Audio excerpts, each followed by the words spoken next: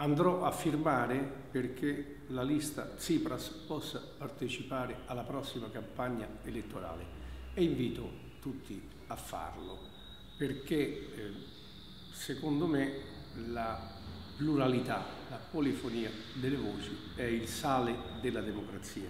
Quindi mi auguro che questa lista, che ha tanti autorevoli nomi con sé, possa partecipare alla campagna elettorale e alla fine di questa campagna elettorale io, come tutti, deciderò per chi votare.